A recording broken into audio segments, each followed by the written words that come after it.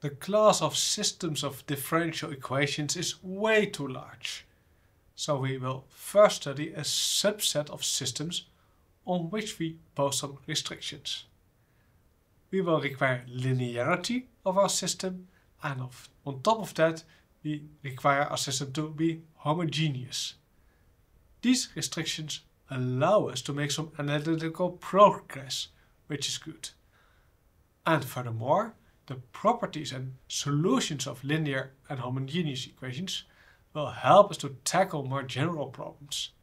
So let us see what linear and homogeneous means in this video. So in general, our systems of differential equations looks like this. x1 prime equals some function of x1, x2 up to xn and t.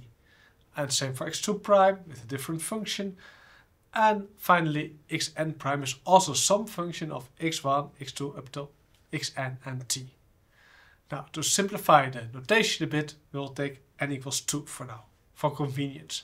I mean, the ideas will generalize easily, but for notation, let's take n equals 2.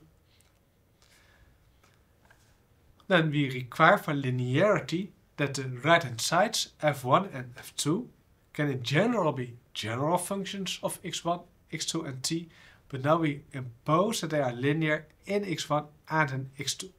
So f1 is rubbish of t times x1 plus other rubbish of t times x2 plus more rubbish of t.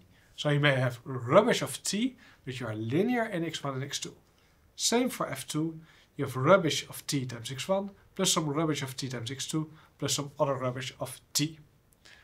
Then in that case, you have a linear system of differential equations. You are homogeneous if furthermore g1 and g2 are both equal to 0. Now, if you are linear, then you can rewrite your system of differential equations. You can put your x1 and x2 in a vector, write x1, x2 prime, and you can write this part as a matrix times vector as we did over here. And the remaining part g1 and g2, you can put them in a vector like this. So if you are linear, then you can rewrite your differential equation as x prime equals a matrix depending only of t times x plus some inhomogeneous term. Let us try to do this with a couple of examples. First of all, we have this example 1 which looks linear. So what do we have?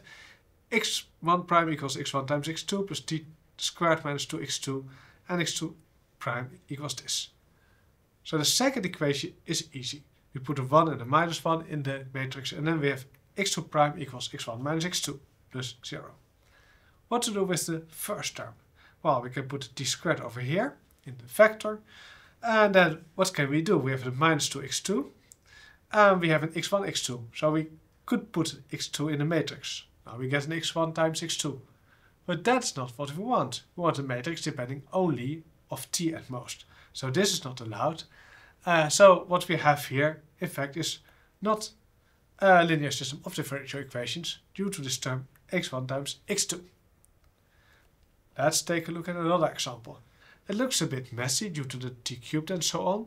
Second equation is the same by the way. So we put a 1 and a minus 1 over here for x2 prime equals x1 minus x2.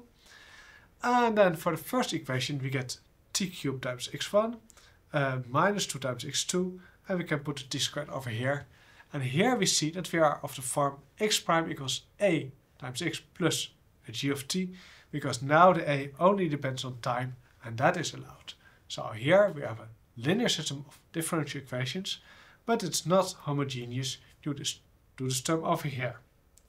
Now, finally, the third example, we just kick out this t squared over here. What do we have now? We have the same problem, of course. x1 prime equals t cubed times x1 minus 2 times x2 and x2 prime equals x1 minus x2. So now we have rewritten this in the form x prime equals uh, a times x. Uh, now we have again a linear system of differential equations and our vector g equals zero vector. So this is also a homogeneous system of linear differential equations.